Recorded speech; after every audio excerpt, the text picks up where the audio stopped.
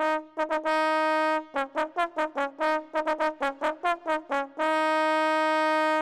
was born at the Royal Canberra Hospital. I was born with cerebral palsy and night blindness. Nobody knows why. Possibly because my mum had the flu when she was pregnant with me. The doctors said I would never be able to walk, but I proved them wrong. Up until the age of seven I used to crawl. I learned to walk at Turner Primary School having a walking frame to help me. It felt great and my parents took me out to a restaurant to celebrate. I only used the walking frame for a few years. I went to Pegasus from the age of seven.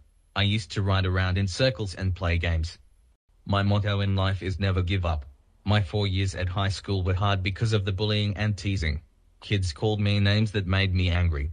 I used to tell the teachers but they used to ignore the bullying. I tried to kill myself twice.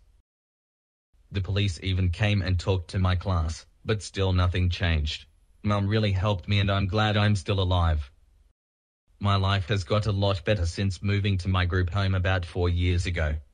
Mum pops in to visit me more than once a week. I have two jobs. I open the mail for Centrelink four days a week for about three hours a day, and I sell the big issue two days. I've got the best pitch because the girls sometimes give me free hot chocolates.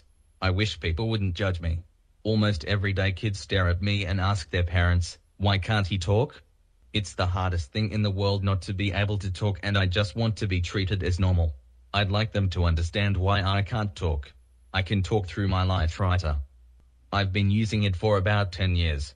Before that I used sign language. Now I prefer the Lightwriter. I like meeting people and I like it when people stop and talk to me. I like to chat. I share my house with two tenants, Matt and Ray, and a dog named Buffy who is deaf and blind and very old. My NRL team are the Raiders and the Roosters.